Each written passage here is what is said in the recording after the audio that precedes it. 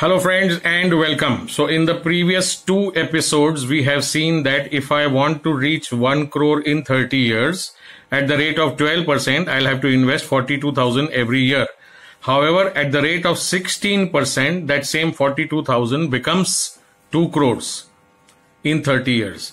If however we reduce the period, instead of 30, we make it 25, then at 12%, I will have to invest 75,000 rupees per year and at 16% I will have to invest 80,000 rupees. What happens if we reduce the period? So someone called up yesterday and said my target is to reach 1 crore rupees in 20 years. Can we make some sort of a plan?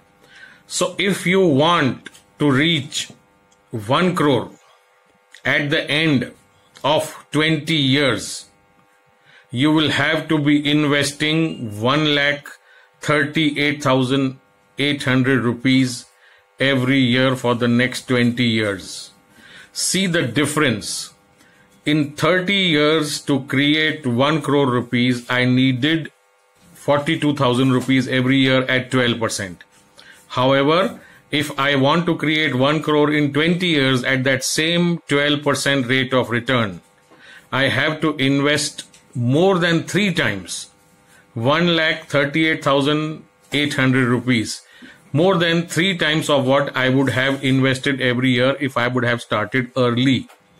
This is the power of compounding and the effect of giving time to your investments.